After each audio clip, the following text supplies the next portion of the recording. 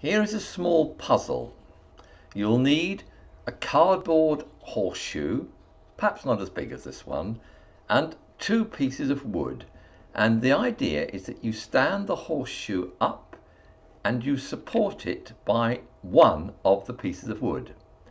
The idea is to pick up both the piece of wood and the cardboard horseshoe only using the other wooden rod. Now I'm going to leave you to see if you can work out how you do it.